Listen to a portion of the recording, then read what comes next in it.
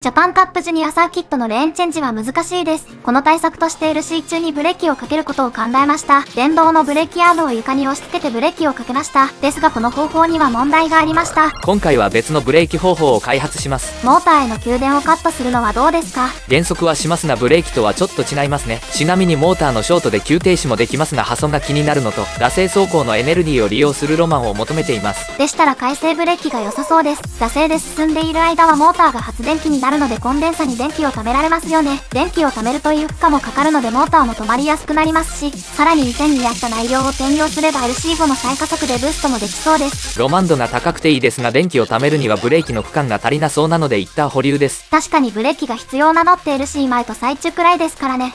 つまりその区間だけ別の負荷をかけられるってことか LC 中に効果を発揮する電動パーツがあります。それはファンです。ファンによってコースを吸引してマシンの吹っ飛びを抑える手法があります。先駆者方々の優れた記録からもその手法が有効なことが明らかです。つまりこの区間でモーターへの電力供給をカットして、惰性走行時の発電電気をファンを回すモーターへ与えます。ファンによってマシンは床に押さえつけられます。これにより吹っ飛びが抑えられます。回生発電により駆動モーターにブレーキがかかります。さらにタイヤと地面の接地が強くなるのでブレーキの効きも高まります。一石何鳥かのシナジーを感じます。ブレーキ中だけファンが回るのも何回区間であります。ブレーキ中だけファンが回るつまりファンをさらにブレーキに使えるってことかダクトで排気を進行方向に向けますこれがさらなるブレーキになります常時回転のファンでは走行時もブレーキになるのでこの方法ならではですね。今回の作戦が決まりましたそれでは制作へレッツゴー。モデリングをします。ファンカーを作るので真ん中にファンを設置します。ファンを中心として他の部品を配置しています。姿勢を安定にさせるためにワイドローにします。外見も好みになりますダクトをいい感じに作ります。細かいところもやって、モデリング完了です。ダクト部は別パーツにして中をくり抜いています。シャーシを印刷しました。サポート材を剥ぎます。糸引きを大まかに取ります。糸引きをライターで炙って丸めます。素早く動かして熱を与えすぎないようにします。残ったカスを除去します。印刷不良でファン部に穴が開いているので接着剤で埋めます。ハトメを挿入します。後で接着しています。他にもホロ調整をしてシャーシができました。底面全体に薄皮をつけています。ファンの効果を高める狙いです重量チェック 23.2g ちょい重め駆動チェックスルスルグッドです。次にダクトパーツも印刷しましょう。3D プリンターが使える形式にデータを変換します。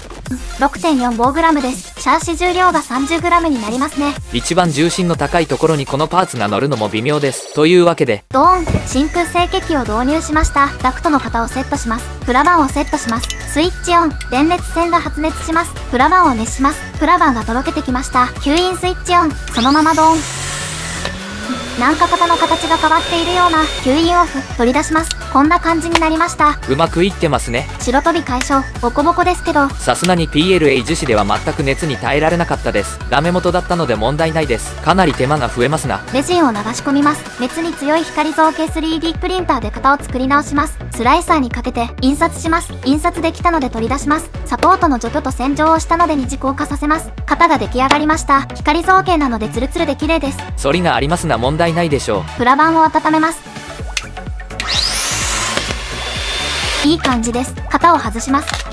型は壊れていないので問題ないです。型を外して切り出しました。モーターの頭を出す穴が必要です。目印として小さな穴を開けます。カッターナイフで穴を開けたらダサくなりました。工夫しましょ壊れているモーターを使います。分解して外側の円筒パッツのみにします。円筒パッツをライターで炙ります。目測でいい感じの場所に穴を開けます。うカメラがあって真上から見れないので感覚でいきます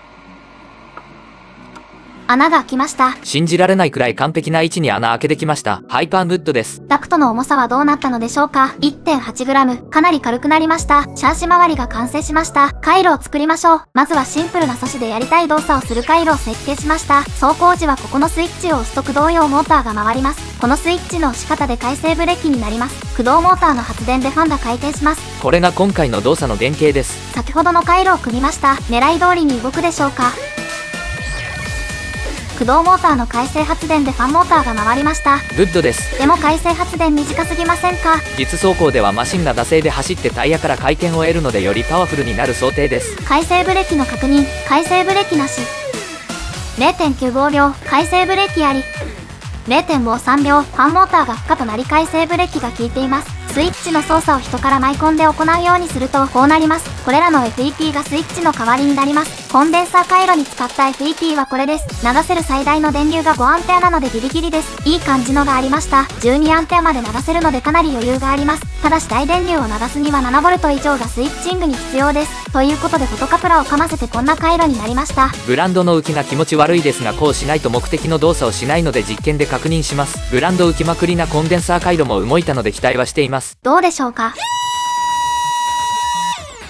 動けばよしなのでこれで進めます。主要部の確認が終わったので全体の回路図を完成させました。実装基板図を書きます。まずは部品の配置を決めます。素子に対して抵抗がセットのように接続されているものたちをモジュールのようにまとめますこうすることで配置を考える点数が減って楽になります。ある程度モジュールにまとめたら配置を決めていきます。この時点で基板サイズを小さく配線を短くジャンパワイヤーを少なくするように考えながら配置します。この配置でほぼ決まりが出ますからね。いい配置を思いつくと気持ちよくなります。どんどんまとまっていくのも見てて気持ちいいです配置が決まりましたあとは配線をします配置の時点で決まりができているのでランド同士をつなげるだけです大電流が流れるラインは太めにします配線が微妙なところは配置を修正しています。電源とセンサー周りで結構迷っていました。そろそろ終わりますね。配線完了です。ブランドを塗りつぶします。隙間も塗りつぶします。台形を書きます。実装基板図が完成しました。JLCPCB 様の提供でプリント基板を発注します。事前に基板を反転しておきます。ガーバファイルを出力します。最低限必要なレイヤーだけチェックしています。私がこの発注で重視しているのは CNC よりも工数が減るかなのでわざわざデザインルールなどの設定は変えていないです。そのままで発注できるかも検証します。ファイルを出力します。次にドリルファイルを出力します。出力ファイルが入っているフォルダを ZIP 形式で圧縮します。これで発注ファイルの準備完了です。JLCPCB のサイトで先ほど作った ZIP ファイルをアップロードします。読み込みが完了したので基板プレビューをチェックします 3D ビュアーで両面が正しいかをチェックします基板の設定をします Google 翻訳で日本語にするとやりやすいです。基板重量を下げるために薄くします。加工用のファイルを事前に確認できるようにします。説明文が出るのグッド。設定はこれで終わりです。配送方法を選びます。納期がゆっくりでも良ければかなり安くできます。一番遅くても普通に早い。今回は時短のために到着が一番早いのにします。カートに入れます。カートを見ます。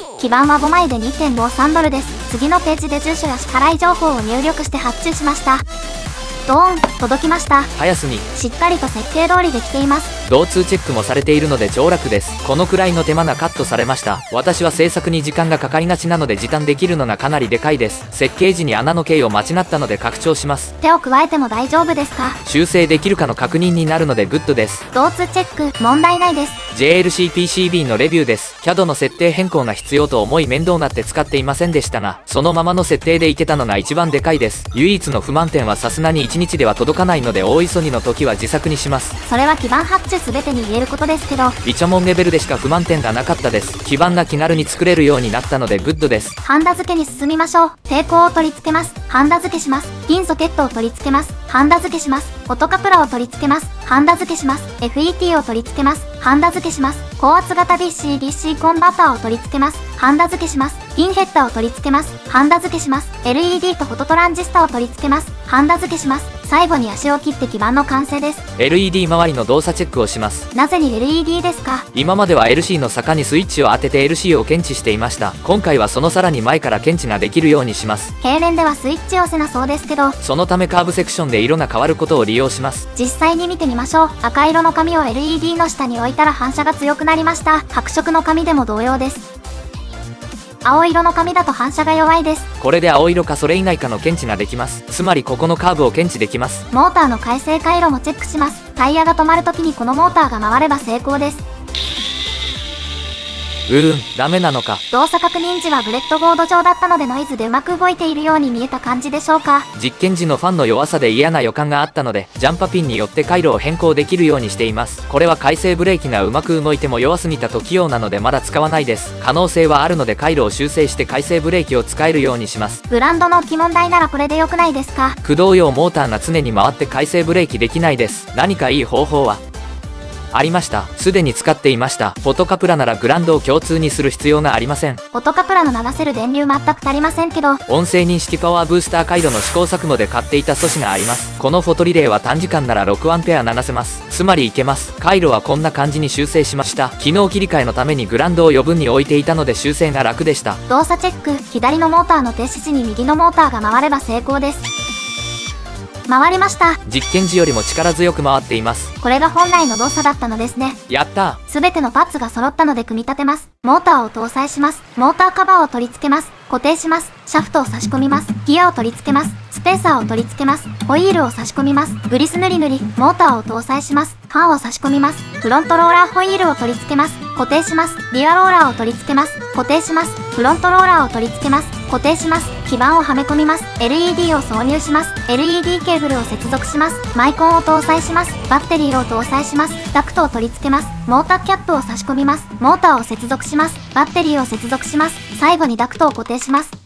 できました。改正エアロブレーキシステム。マシン名はリアロです。このマシンにロマンを詰め込みました。技術的にも色々と学べましたね。ドデカダクトとワイドローな外見は超クールです。時間をかけたおかげで気分がいい出来になりました。重量チェック。95.9g。機能の割には軽量にできました。ファンとダクトの効果を検証します。前方に風を送れていません。設置だと風が入らず吹き出せないのか。想定内ですが浮いた時に空中でブレーキがかかる。まさにエアロブレーキなのでスーパーありです。ちなみに吸着はできています。スマホの操作でエアロブレーキの有無を切り替えできます。さらにセンサーの値もモニタリングできます。これを見て青色検知の敷位置を調整できます。他にも細かく調整できます。走行時の改正エアロブレーキチェック。4秒後にモーターへの電力供給がカットされます。先行しているのがブレーキ槍です。ここでブレーキ槍が抜かされました。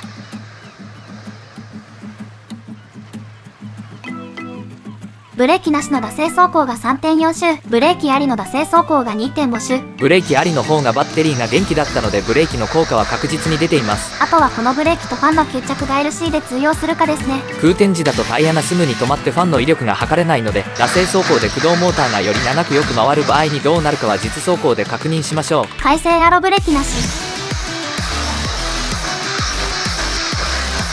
ドーンスロー浮き上がってそのままコースアウトです。改正エアロブレーキあり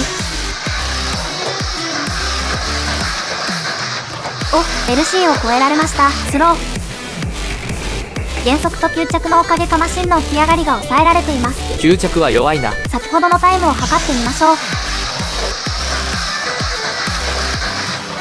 2.80秒ロマンに寄せすぎた割には速いな。タイムアタックで見ると遅いですけどね。前に2.53秒を出したマシンと走行を比べると加速が乗るまでに大きく離されますが以降の平面では離されないので同程度の最高速です。LC からその後の最加速でとても大きく離されているので加速力アップがポイントになりそうです。改良点はたくさんあるのでタイムアタック用に作り直します。ファンを強める3段もついています。今回は夢見すぎな構想を形にして効果を実験できたので満足です。それではまた。のし。